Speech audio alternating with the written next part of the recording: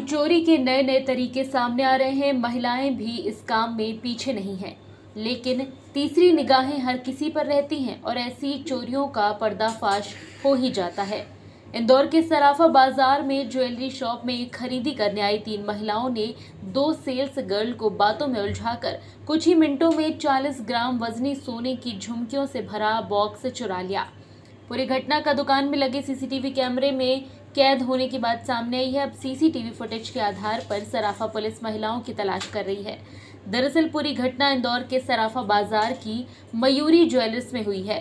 थोड़ी देर बाद जब सेल्स गर्ल डिब्बे जमा करने गई तो पता चला कि एक बॉक्स कम है। तुरंत कैमरे देखे गए तो घटना का पता चला। फ़िलहाल सीसीटीवी फुटेज की मदद से पुलिस महिला चोरों की तलाश कर रही है।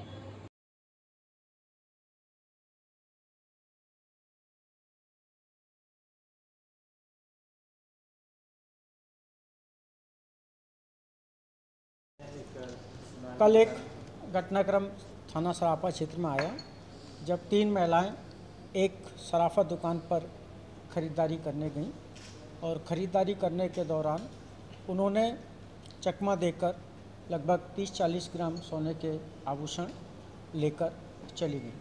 बाद में दुकानदार की जानकारी में आने पर उसके द्वारा थाना सराफे पर रिपोर्ट की, जिस पर से पुलिस ने चोरी का प्रकरण कायम करके उसकी विवेचना कर रही है।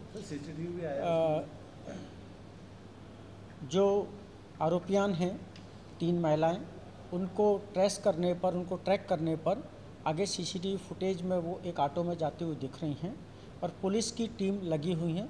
हमारे साथी अधिकारी लगातार उसमें कोशिश कर रहे हैं और बहुत जल्दी उनको पकड़ा जाएगा।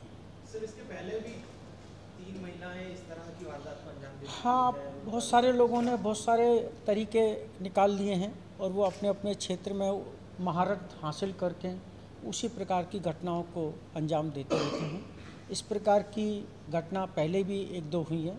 पहले भी पुलिस ने पकड़ा है और जैसा कि मैंने बताया कि हमारे सभी अधिकारी उसमें लगे हुए हैं हम बहुत जल्दी उनको पकड़ लेंगे। Bureau report JSR Times. के लिए सब्सक्राइब करें जेएसआर टाइम्स और साथ ही नोटिफिकेशन पाने के लिए बेल आइकन को दबाएँ।